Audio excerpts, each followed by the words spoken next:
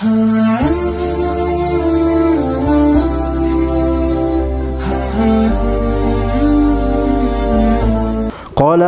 ибн Абдул Азиз айтады екен иттақу фитнатал абидил жахил өзі абид ибадатқа бекем бирок жахил шариатты билбейт ошондой адамдын фитнасынан сактангыла дейт азыркы кезде бизде ушул көп болуп атат да өзү жахил шариаттан билими деле жок чалап ала бир нерсени билип алган эми мусулман ыкыластуу бирок кээде артык кылам деп тыртык кылып жиберген жерлер көп болот экен да. Азыр ошол нерсе көп көп адамдардан көп нерсе ошол нерсе байкалат ошондуктан бул жерде хадисте айтып атат эмне деп атат азирети омар ибн абдулазиз экен. Ошондой жахилдердин жахил бирок ибадатка бекем болгон жахилдердин фитнасынан сак болгула.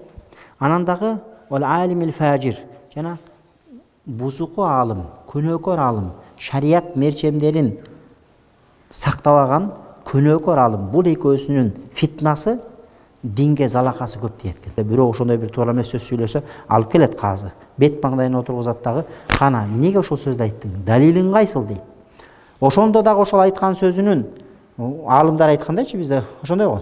Бир айткан сөз сүйлөсө ошонун жүз мааниси болсо токсон тогуз мааниси куфур мааниси болсо бир мааниси имандан чыгарбай турган мааниси болсо ошол маанисин кабыл алып аны динден чыгарбаганга аракет кылат бизде болсо биринчи очередте динден чыгарганга аракет кылабыз дин биринчи очередте капыр деп фатва бергенге мушрик деп бидачы деп фатва бергенге аракет кылып калдык да мына бул жерде ошону айтып атат жахил абидтин жахил өзү шариаттан билими жок бирок ушундай ыйманы бар ыйманда шек жок бирок маселелерди ушундай агрессия менен кабыл алып адамдарды ойлонбостон туруп эле эле капыр кылып мушрик кылып динден чыгарып жиберип атат да. Мындайдын фитнасынан сак болгула анан жанагындай бузуку аалымдын фитнасынан сак болгула бул экөө динге ушундай фитна кылат динде тешик алып келет жарак алып келет ал жараканы эч ким бүтөй албайт дейт да.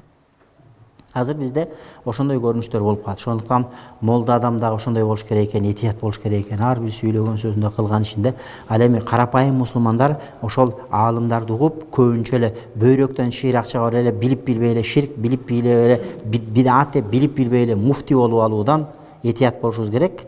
Ал муфтилердин иши экен.